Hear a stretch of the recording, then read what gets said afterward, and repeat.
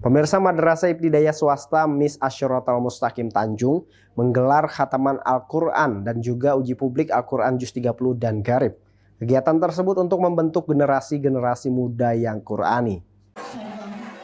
Kegiatan hataman Al-Quran dan juga uji publik Al-Quran Juz 30 serta Garib dilaksanakan pada Senin 9 Oktober 2023 di Gedung Informasi Tanjung. Acara dihadiri seluruh siswa dan siswi Madrasah Ibtidayah Swasta Asyiratul Mustaqim Tanjung, beserta orang tua serta sejumlah tamu undangan.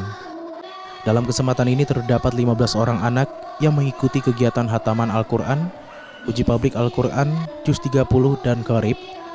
Peserta hataman terdiri dari kelas 4 dan juga kelas 5. Untuk mengikuti uji publik ini ada jumlah anaknya ada 15 orang.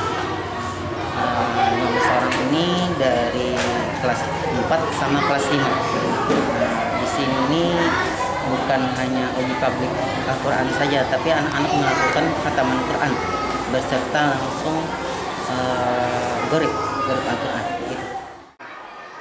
Kepala Sekolah Madrasah Ibtidayah Swasta Asiratul Mustaqim Tanjung, Asep Saipudin berharap hataman yang dirangkai dengan acara maulid ini dapat menumbuhkan dan mencetak generasi muda yang Qurani serta cinta Rasul.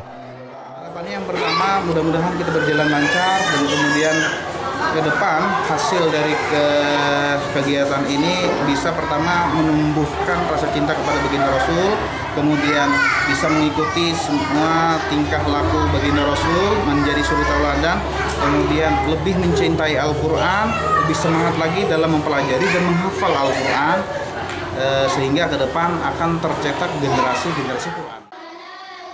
Dalam kesempatan ini para siswa dan siswi mengikuti kegiatan hataman, uji publik, dan juga garib dengan lancar. Diakui pihak sekolah hal ini tidak terlepas dari kemampuan anak serta peran orang tua dan juga para guru yang maksimal. Maria Ulpah, TV Tabalong melaporkan. Terima kasih sudah menonton video ini. Jangan lupa subscribe channel Tabalong hari ini dan nyalakan pemberitahuan untuk update info terbaru. Jangan lupa juga untuk like, komen, dan share videonya.